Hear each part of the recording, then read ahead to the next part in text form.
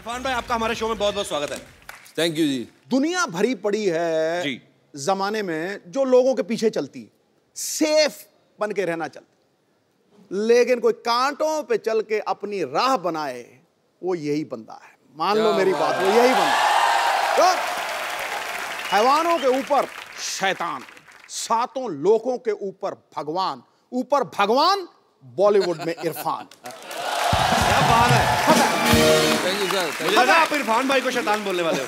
ना ना ना ऊपर भगवान इरफान भाई शैतान। देखो भैया अगर बंदा शैतान ना हो ना तो तेरी तरह यहाँ नहीं पहुँच सकता याद मतलब वैसे शैतान और भगवान का साथ साथ होता है। मतलब मैं शैतान हूँ? नहीं जी आप आप भगवान हम शैतान। इरफान भाई क्या आजकल आज क्या खा कर रहे हैं आप? दिन बर दिन मतलब ब्यूटी बाहर निकल रही है आपकी ड्रेस काफ़ी स्मार्ट चमक रही है। यार ड्रेस देखो आज। खाना जो है बंद है आजकल। खाना बंद है? हाँ। ऐसे क्यों? मैं आपको देख देख के जरा इंस्पायर हो गया हूँ।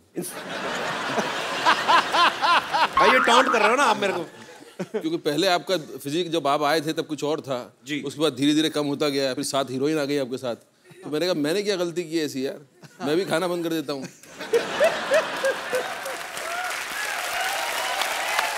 अच्छा इरफान भाई हमने मदारी का ट्रेलर देखा ना तो उसमें बंदर है ना भालू है। हाँ जी। सो हाउ कम इट्स मदारी? मतलब क्या इसके बारे में बताइए ऐसा था पहले जब टेलीविज़न नहीं था ना तो रास्ते में मदारी बंदरा खेल चलता था लोग देखते थे। जी।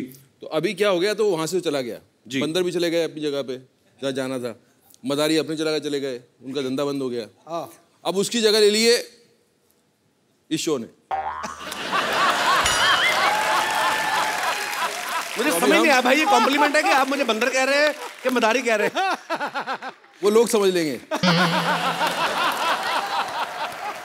पिछली फ़िल्म जज्बा में इरफान भाई की हीरोइन ऐश्वर्या राय थी इस बार कोई भी नहीं ऐसा क्यों भाई देखो भाई मैं इस पहले आया था पीकू में जी। दीपिका के साथ जी। फिर ऐश्वर्या जी के साथ आया था जी। उसके पहले भी किसी और हीरोइन के साथ आया था जी। जब जब मैं आया हीरोइन के साथ आपने मुझे तो छोड़ दिया वहाँ और हीरोइन पे आप कूद गए मतलब अब अब ये बिल मेरे पे फाड़ रहे हो आप। नहीं मैं आपको बता रहा हूँ मैंने मैंने फ़िल्म साइन करने के पहले पूछा पब्लिसिटी में कपिल के शो पे जाना है?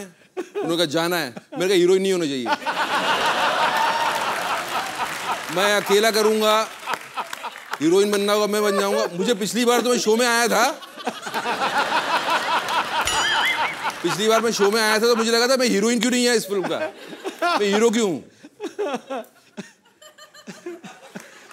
तो आप मेरी फ़िल्म में हीरोइन नहीं होने की वजह ये है। आज देख ले ध्यान से। मैंने हीरो पे शेर मारा है और हीरो ने तेरा बैंड बजाया तो क्यों बजाया कि नहीं बजाया? पिछली बार जब इरफान भाई आए थे ना हमारे शो में तो इनको नाराज़गी थी आपसे।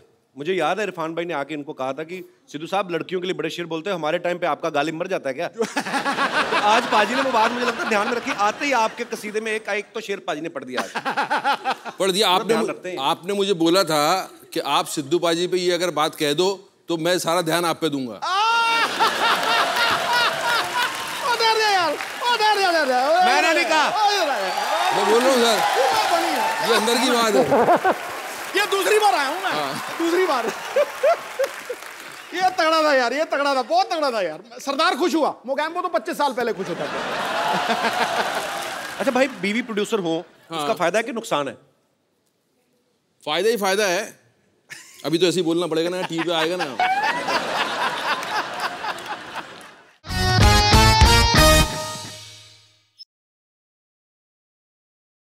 For more updates, subscribe to our channel, click the show links and enjoy watching the videos.